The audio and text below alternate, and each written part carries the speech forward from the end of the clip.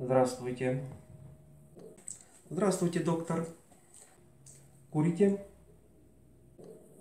Ну, не совсем. Не совсем? А это как?